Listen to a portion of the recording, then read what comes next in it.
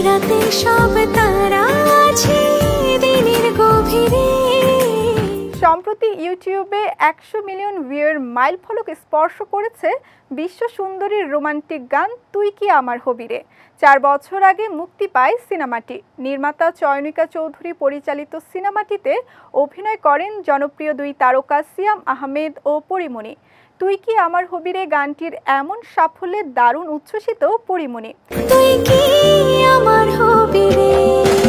পহেলা মে দুপুরে উচ্ছ্বাস প্রকাশ করে অভিনেত্রী নিজের সোশ্যাল হ্যান্ডেলে জানান দেন, তুই কি আমার হবিরে গানের ইউটিউবে একশো মিলিয়ন ভিউ হবার তথ্যটি?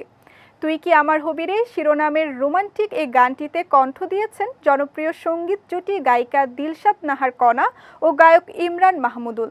গানটির জন্য শ্রেষ্ঠ গায়ক গায়িকার পুরস্কার অর্জন করেন তারা।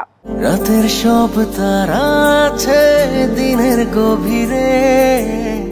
এখন পর্যন্ত ইউটিউবে বাংলা সিনেমার গানের মধ্যে খুব বেশি গান একশো মিলিয়নের মাইল ফলক পার করতে পারেনি। সে জায়গা থেকে তুই কি আমার হবিরে গানের এমন সাফল্যে দারুণ উচ্ছ্বসিত সিনেমার সংশ্লিষ্টরা?